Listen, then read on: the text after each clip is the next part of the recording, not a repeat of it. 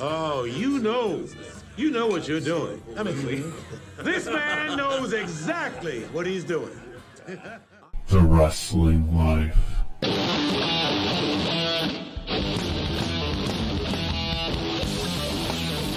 Hey everybody, it's Wrestling Life, it's episode 347.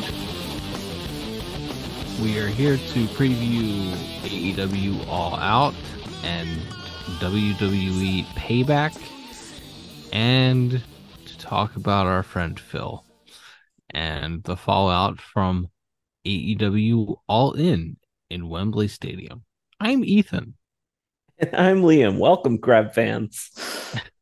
Welcome, crap fans. Uh, Liam, we have so much to talk about this week. And as always, so many things we cannot talk about on the first and only wrestling podcast. So here's the thing about AEW All In. it was uh, a show that people seem to enjoy. Mhm. People seem to like it because it was uh, polite and rarely late. Mhm. Only about 10 minutes late, apparently. They um, they did an unadvertised pre-show before the pre-show. Just they went on the air an hour early for no reason, and then they delivered the pre-show.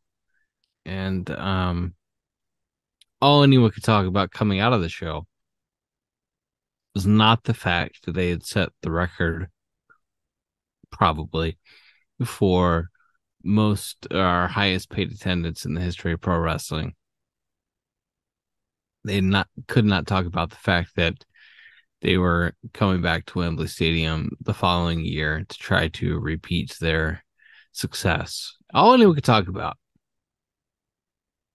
CM Punk and Jack Perry scrapping before the show began. It, this this company is a gift that keeps on giving. Phil CM Punk keeps on giving. Mhm. It's absolutely amazing. He and Jack Perry have been suspended after fighting, Mhm. having a physical altercation Mhm. backstage, apparently close enough to their boss that monitors fell over on their boss. I don't know. There's so we we'll break down the matches in a minute, but uh obviously all anyone cares about is that CM Punk continues to do CM Punk things. He and and Jungle Jack have been suspended the week of a pay-per-view in Chicago where Punk was probably supposed to be in the main event and he still may be. We don't know. Uh there's there's many things there are many moving parts and pieces to this here as we approach the weekend just overall general thoughts on uh on our friend Well, this is what I like to call vintage Phil. Uh, yeah, this is uh, what a wonderful way to start the show. Uh, well, as as uh, and yeah, as anyone who watched the show knows, uh, F- Punk and Joe led off the show, and depending on who you ask, he almost didn't go out for his match. Yep. Um, I have not seen that disputed by the Punk camp that he threatened to quit or that he uh, threatened to not go out and and wrestle. Um, I have not seen it disputed uh, that he was loudly uh, berating his boss in his personal locker room with harsh language. I've not seen that uh, disputed by the punk camp. Um, and it's definitely not in dispute even by the punk camp, though the punk version I think did uh, did surface a day or so after the event. That uh, the physicality of this uh, of this confrontation, this brouhaha, if I could invoke a little French, uh, uh, was the physicality uh, part of this was in fact initiated by Mr. Punk. Again, uh, almost exactly one year to the last time that uh, someone had an issue with Punk, and uh, exchanged bad words with him, and he uh, uh, initiated physicality there as well. I don't believe that's in dispute, or at least not in. I have not seen it disputed. I should say. Uh, so that all being said, it's it's he's he's the best guy in in the whole company because he gives us so much so much stuff like this to talk about. I don't think we did a show the week that like this Jack Perry punk riff started um based on them disagreeing over a spot Jack wanted to do in like a pre-tape segment uh cuz Jack was taking a vacation the following week. Um Yes. so uh, yeah, I don't. I mean, I don't think we need to recap the whole thing, but yes, Jack Perry on live television uh, made a reference to the fact that he and Hook were in fact using real glass, and uh, Punk took issue with that. Uh, I don't think any of this is in dispute, and and I don't think it's in dispute that, or I have not seen it disputed that Punk was uh, the initiator of the physicality uh, portion. So, So, so the story goes, Jungle Boy takes a bump on real glass, or right before he takes a bump on real glass, he looks into the camera and says, "It's real glass, Crimea River," or something along those lines. mhm. He goes backstage. He's Punk is in the gorilla position because he's about to go out for his main card opening match. He allegedly asks Jack Perry, "Do we have a problem?" Hmm. something that um he's asked more than one person now since he's been back this summer. Mhm. Perry apparently said something along the lines of yes and told Punk to do something about it. They shoved one another and then Punk put Jungle Jack in a chokehold. As they were shoving one another, monitors fell on Tony Khan. Punk threatened to quit, threatened to walk out, had to be talked down by Samoa Joe and talked into going out for their match. Is the story going around? Mhm. Yeah. this is one of those programs where it's like there's no babyface in this program. Mhm. Mhm. Jungle Jack was wrong for uh, antagonizing the world's meanest man on glo- on global television. Sure. um punk uh antagonizing jack by saying do we have a problem or do you have a problem with me or something Mhm. along those lines Mm, not something a, a real good guy would probably do and then uh jungle jack saying uh, do something about it do something about it By golly, he did it.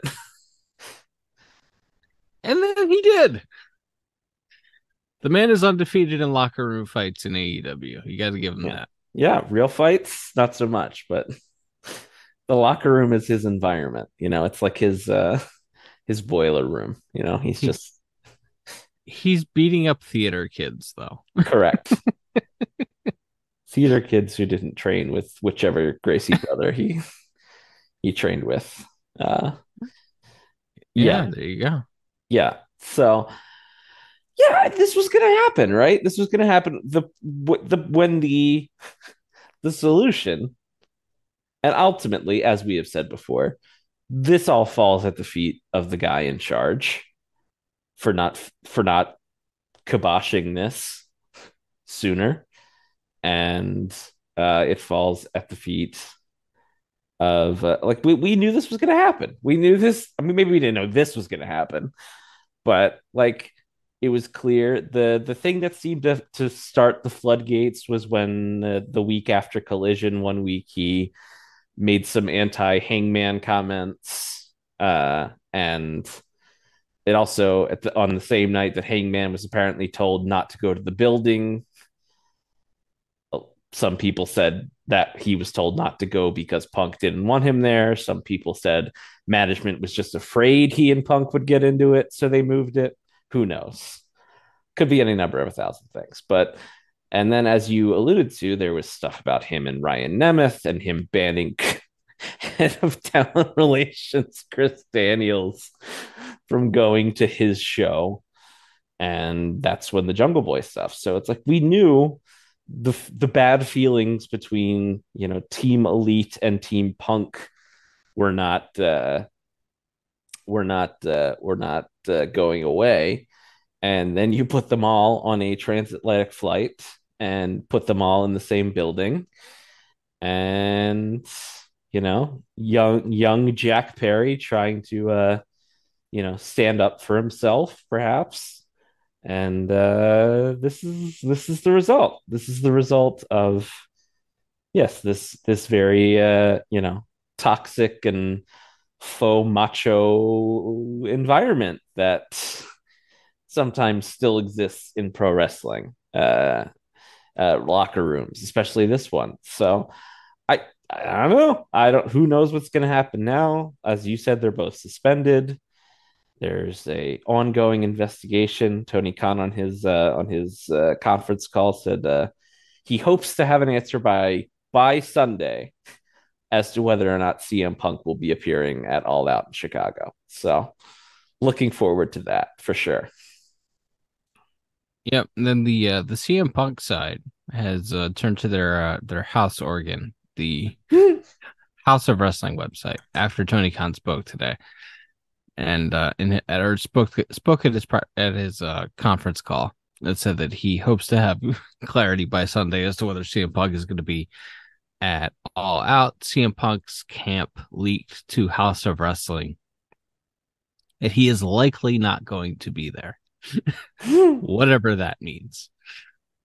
It means he's angling for some concessions, more concessions. I'm assuming from his his side. I don't look even even if you think that Punk is 100% in the right, and look, I think he has some very legitimate gripes around all of all of this stuff, but like at a certain point, what else is there to give him other than like firing Jungle Boy? like what else is there to give him? He has his own show that he basically books himself and he gets to choose who does or doesn't work on it. Yeah. Uh, like what what else is there? What other carrots are there to dangle? I mean, I guess you could give him more money. uh but like what else what other carrots are there to dangle to uh to entice Punk? Or is this just him kind of, you know, marking his territory, stomping his feet, you know, trying to have the loudest bark in a in a week that has been a let's let's be charitable and say a mixed bag for his uh, for his PR for his uh, his personal reputation. You know, I don't know. I think he wants Ace Steel back in buildings.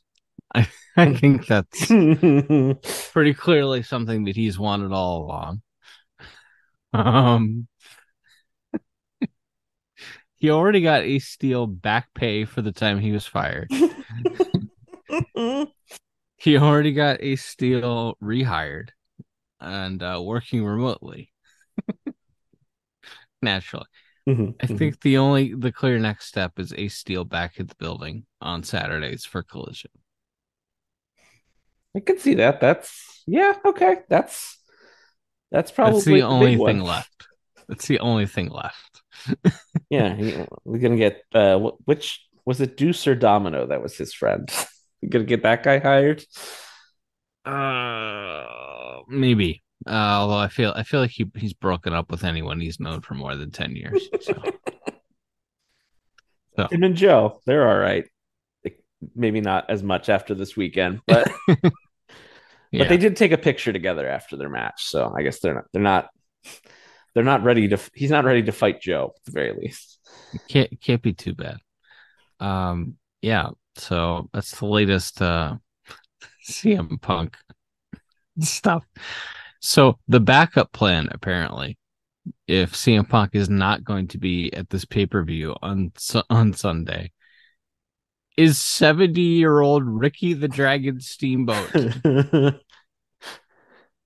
Tony Khan tweeted after his television show ended on Wednesday night. He tweeted that Ricky Starks is going to be on Collision on Saturday to challenge Ricky the Dragon Steamboat to a strap match for All Out the next day, Uh huh. which to me sure seems like an angle uh, to bring back CM Punk. You would think. But I think the alternative is Ricky does a match there where he doesn't do too much bumping.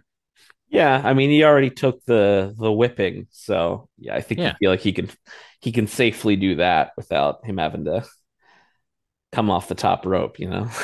Ricky the Dragon Steamboat. Ooh. Oh It is boy. 2023. Remember, remember when like he almost died in WWE like 10 years ago? Yes, I do.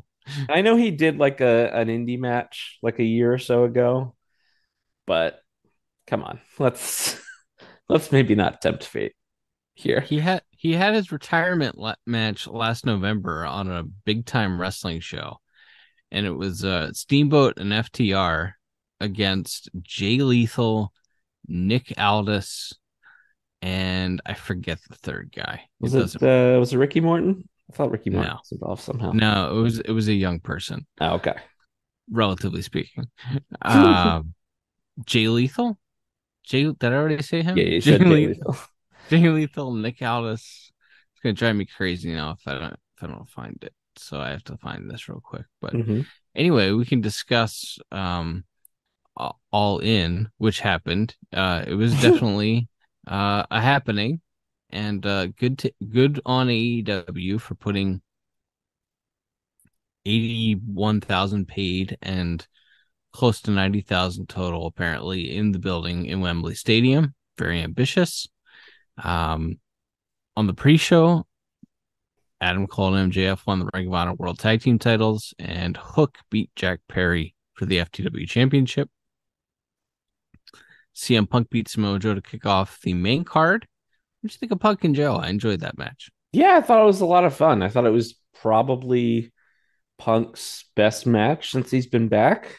Um, I like the Kojima match a lot too, but um, yeah, I thought this was just it was a good it was a good pro wrestling match, and you know it it felt it was a good opener. Like I thought I thought it was a really really fun match. I think I feel like Punk's been uneven in his return matches. I think he's wrestled a lot. I think he's looked good at times, and other times, like I, I didn't think much of that first Ricky Starks match he did.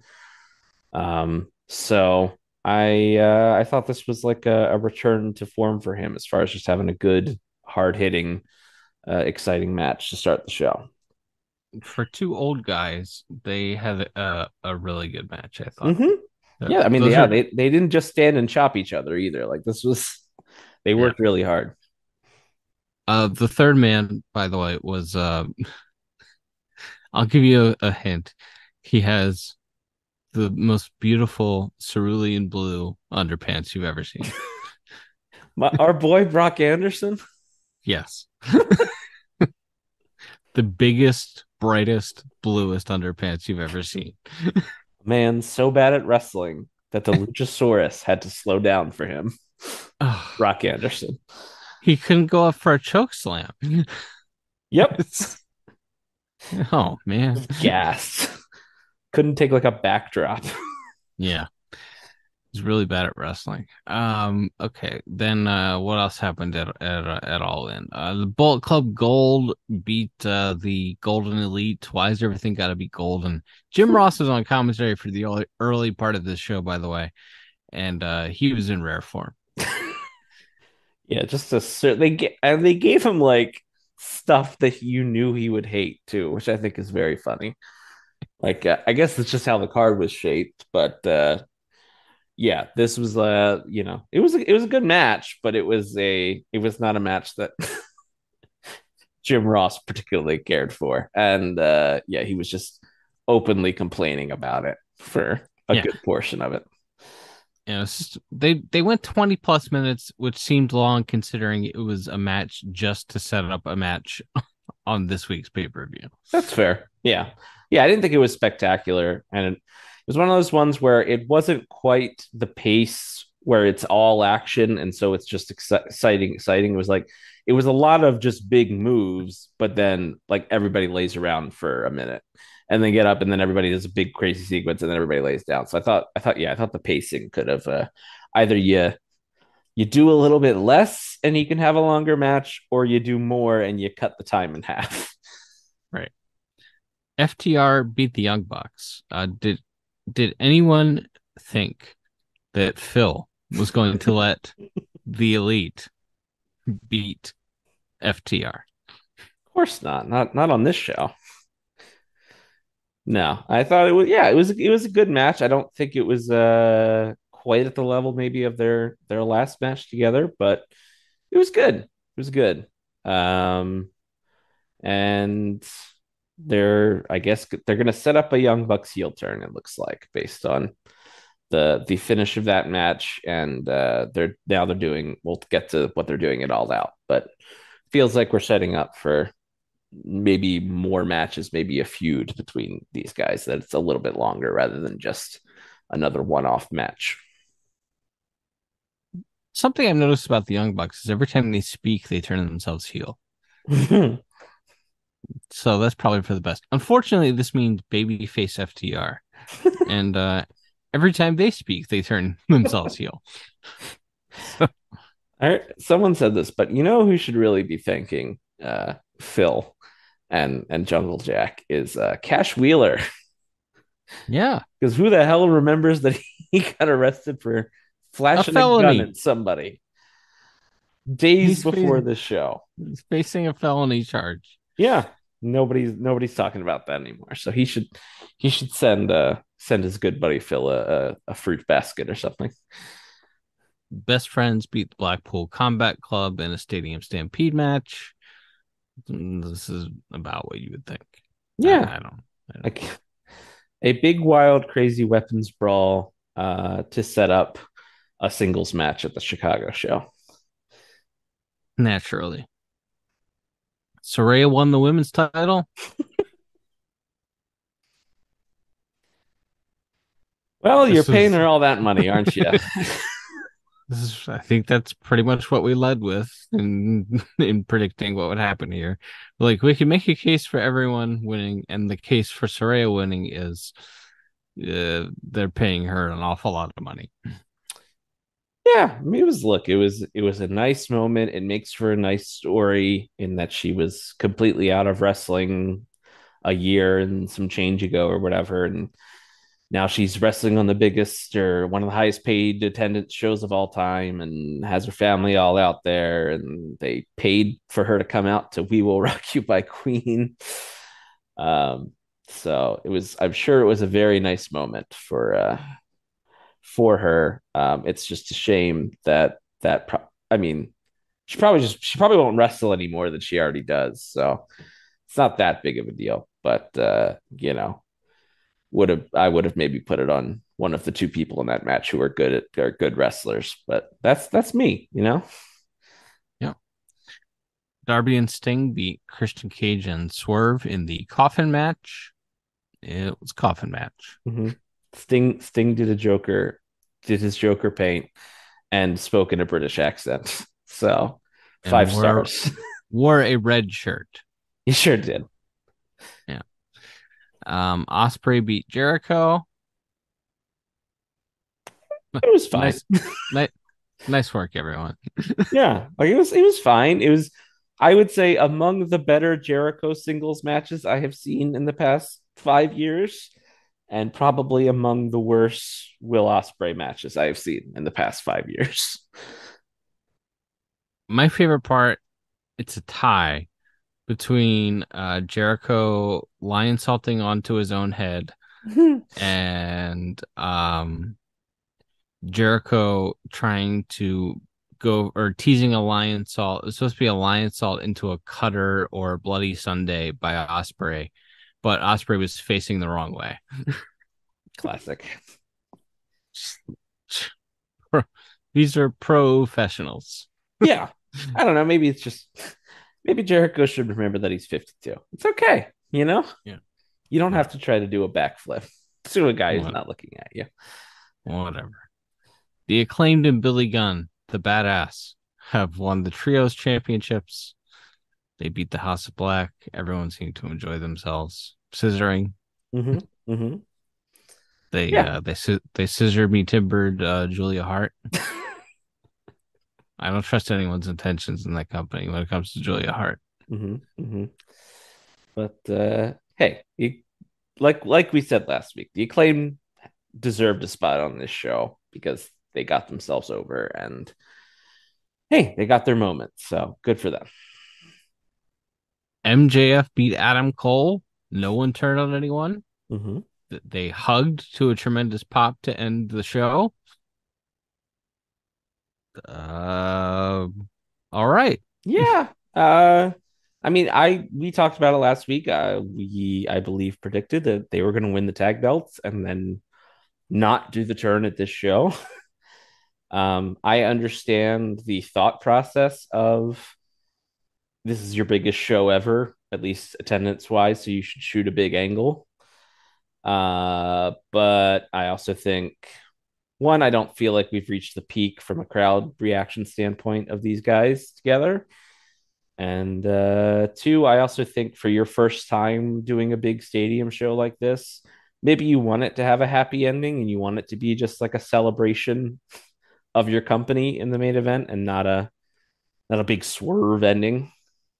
So I was Sure. fine with this. The match itself, it, it was a little, it veered a little too much into NXT Roman Reigns main events for me. Sure. A lot of a lot of acting, a lot of monologuing. They literally like took microphones and cut promos during the match. Um, so that's a little bit too much for me, but it was good. It was a good match, and to their credit, this crowd had already seen everything, including MJF and Adam Cole, and they were still just living and dying. They were as hot for that main event as they were anything on the entire show. So good, good on those two fellas. All right. This sets up their second pay per view in uh, in eight days. the very next Sunday, they have uh, here this coming weekend, Labor Day weekend in Chicago. They have a pay per view, and I kid you not, this is the card. Luchasaurus, right now, probably main eventing. Luchasaurus versus Darby Allin for the TNT title. Miro versus Powerhouse Hobbs. Oof. All right. That is a uh, rampage ass match. Mhm, Uh, mhm. Kris Statlander defending the TBS title against Ruby Soho. Uh, I like everyone in that match. Uh, it's it's a TV match. Mhm. Uh, Orange Cassidy defending the international title against Jon Moxley. That's another main event candidate. That would be what I would put on last. I don't think I don't think anybody's having a better match than them on this show. Yeah. Um, Kenny Omega versus Konosuke Takeshita. No stipulation, just just a match. All Mhm. right. Uh, Bullet Club Gold, the Guns, and uh, Jay White and Juice Robinson versus FTR and the Young Bucks in an eight man tag. Okay. Um, as you mentioned, that seems to be I don't know setting up more Young Bucks, uh, uh FTR stuff. I guess I I, I don't know. Uh, Adam and MJF defending their Ring of Honor tag team titles against spoiler alert, the winners of a battle royal on um this week's Rampage. Uh, it's the Dark Order. Hmm. You know, I hadn't even bothered to look up who they were who they were facing. I was like, oh, Ethan will tell me. It'll be fine. It'll be fine. I hope you weren't. Uh, yeah, John Silver and Alex Reynolds will be wrestling uh, Adam Cole and MJF. Okay. weren't, they, weren't they doing some lore with the Hangman and the Young Bucks like two months ago, and then they just sort of disappeared? Yeah, probably. I I don't know, man. They, they did. They beat Hangman and the Young Bucks in a trios match on. Well, it wouldn't have been Collision, so it must have been Rampage. I remember watching that at like 11 a.m. the morning after it happened. They're heels now. I mean, Mhm. for sure, but I don't. Um. So uh, Adam Cole and MJF defending their tag titles. No singles match for the world champion on this pay per view. Mhm. Uh, Samoa Joe defending the Ring of Honor TV title against Shane Taylor, the winner of a uh, a tournament. to determine Samoa Joe's next challenger. So we have one, two, three AEW title matches and two Ring of Honor title matches on this show. Mhm. And also, uh, the only other thing announced to this point Eddie Kingston and Katsuyori Shibata versus Claudio Castagnoli and Wheeler Yuta. Mhm. So there you go. You know, $50. Yeah, that's ridiculous. Um, no, look, it's one of those things where you can, if you wanted to look at this sympathetically, which I do not, uh, you could be like, well, they didn't know the punk stuff was going to happen. Plus, there's been like, there might be, a, there may or may not be a COVID outbreak in the locker room, and people were stranded in Florida because of the hurricane. And so they were kind of just, they're not sure who's going to be able to show up when and whatever. So, like, you could give them a little slack. On the other hand, nobody forced them to book shows two weekends in a row. uh, and nobody forced them to ask their fans to pay $50 for those shows. So, I do not cut them any slack. This is a pretty lackluster card, and to say the least. And yeah, no, not not really feeling not really feeling any sympathy uh for them. And I would say the only other thing I would say is that in previous times when thing when things were were looking a little rough, uh Tony did have a good ability to just like pull a like an an internet fan like dream match out of his butt. And I feel Yeah. like we're not even getting one of those. Like we don't have a Suzuki versus Bryan Danielson announced on 11, 11 minutes notice coming Right. on this show, I don't think. So it's hard to hard to get excited even as just a even if you're just purely a fan of the AEW in-ring product. Like I think Moxley and Moxley and Orange Cassidy I think will be awesome. I think that'll be a very good match. Um and there's other stuff on the show that could be good and and and maybe even over deliver and be great. But yeah, ask it for fifty dollars for this a week after you've you've just done a pay per view, um, that's that's preposterous. And again, nobody forced them to do this, uh, so uh, good luck to them. Uh, they've made they've made their bed, uh, as as it is said. They've made their bed, as it is said. A beautiful rhyme, my friend. Mhm. All right. Okay. Um, WWE also has pay per view this weekend. Their premium live event on Peacock this Saturday, going head to head with Collision. Naturally, this is the most B show lineup of B show lineups. There is, uh, I mean, unless you're me, and then it's like, well, this is one of the most anticipated cards in the history of the business. Um, Becky Lynch versus Trish Stratus in a steel cage match. I've thought about driving to Pittsburgh for this. I probably won't because then I would have to drive back from Pittsburgh on, on like a Sunday morning. It's like I'm not doing that. But uh Seth Rollins versus Shinsuke Nakamura for the World Heavyweight Championship. Rhea Ripley versus Raquel Rodriguez for the Women's World Championship. Rey Mysterio versus Austin Theory for the United States Championship.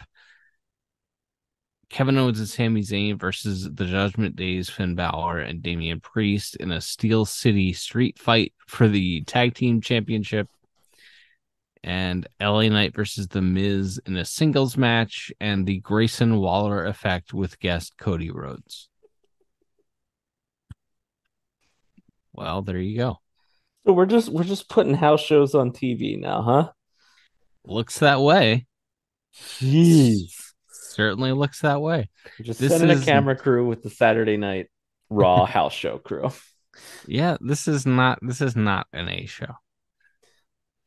Yeah. I... The uh and I was- I saw like the uh, the get in price Mhm. for the uh, the secondary market in Pittsburgh or something is like three hundred and fifty dollars. They're so hot right now. They can't they can't they can't they're trying to punt this show and the fans will not allow it. Yeah. It's, I mean, there's that's that's the old wrestling cliche, right? It's like when you're when you're hot, you really can't do anything wrong, and when you're cold, you can't do anything right. So they're on they're uh they're enjoying the fruits of what has been a very good year for them. Um yeah, like I think a lot of the stuff on the show again, it could be a it could be a pretty fun show in the ring. I mean, like Sami and Sami and Kevin in a weapons match with the Judgment Day guys will be fun, and uh, I I think Becky and Trish will go all out to try to have like a a classic on this show. Um, and then you got some other stuff. Miz seems very motivated for this as he's looking. I mean, he and LA Knight are about the same age. I was going to say he's looking at his replacement, but they're basically the same age. Uh, so they're going to be in the business probably for the same exact amount of time at this point. Yeah. Well, Grayson Waller is the Miz's replacement, and he's Ah, also that's on this show, but just in a talk show segment. yeah, that's that's great. There's, there's so many misses on this show. I know fans of LA Knight would say I am under I am very much undercutting him by saying he's just another Miz. He's not. But uh yeah, this show is not is not lighting anybody's world on fire. Like you I think you have pointed out uh the last couple of weeks. They're really trying to make a judgment day drama a thing uh, in the same way that the bloodline stuff is. So uh, you know, we'll we'll get the next the next twisted turn in that, and then hey, we'll see if uh we'll see if Nakamura can uh can turn it on. You know, big main event for the work the the world championship. They've given him a lot. He's been good in these pre tapes that they've been doing the last couple of weeks. So hey, can he have a good match for the first time since when was that Sami Zayn match in NXT? 2017 or whatever. Yeah, that sounds about right.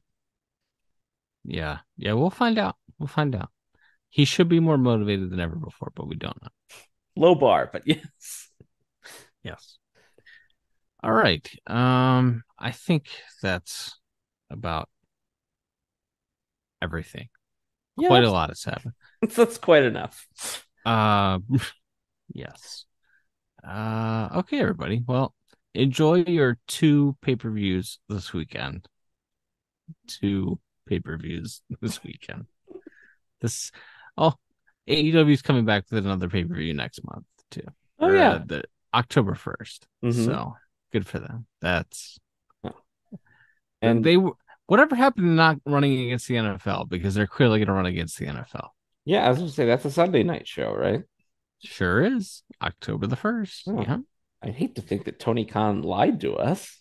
I wouldn't want to believe that Mm. for the first Well- time ever.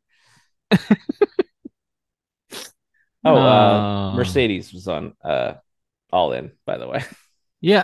To me, the funniest possible outcome here is uh, Mercedes Moné ends up back in WWE after AEW flies her to London and puts her on puts her on their biggest pay per view of all time and just repeatedly shows her in the crowd.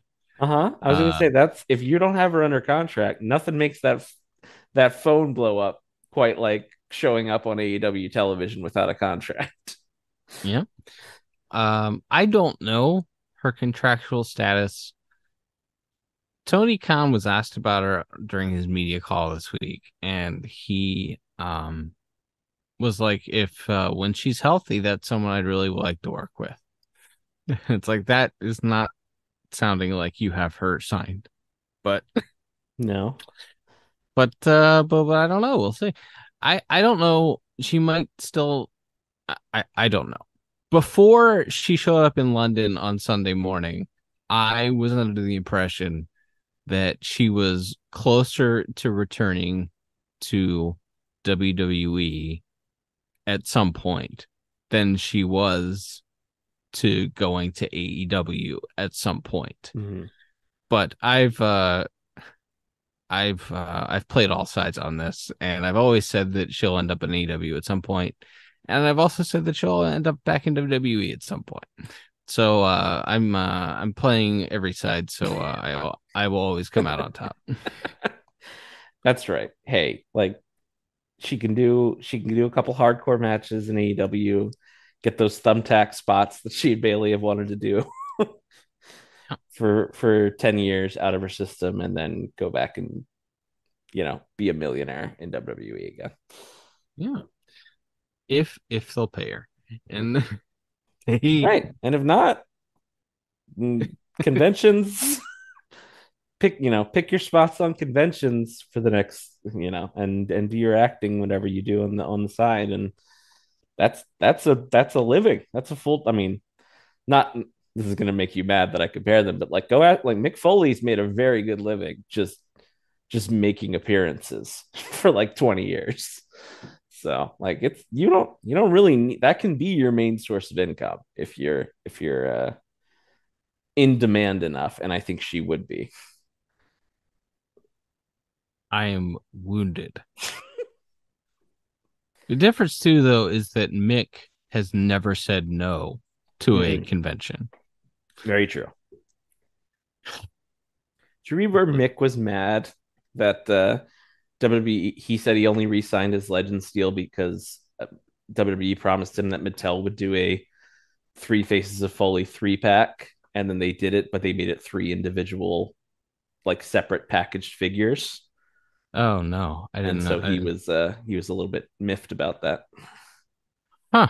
I did not know that. I've uh Mick is always going to be unhappy about something. Yeah, he's a, he's a sensitive lad in in uh, in many ways. Mick and Brett, I always take everything they say with a grain of salt, given the uh the head damage that they've both undergone, Sure. and uh always uh give them the benefit of the benefit of the doubt. There's only All one right. category where I don't always give Mick the benefit of the doubt. Well, he's always got a lot of photos on his social media with his hands all over women. Yeah, the, Around their shoulders. Yeah. Yeah. Well, the show ended eight minutes ago, but we've been talking now for eight more minutes. So, uh, until next time, everyone, I'm Ethan. And I'm Liam. We'll be back soon with more stories from the wrestling life. Bye bye.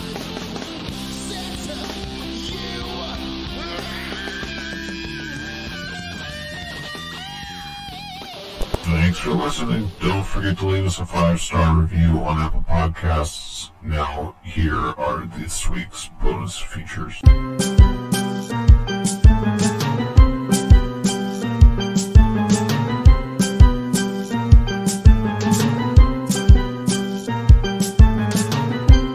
This is the only thing playing on your Spotify right now.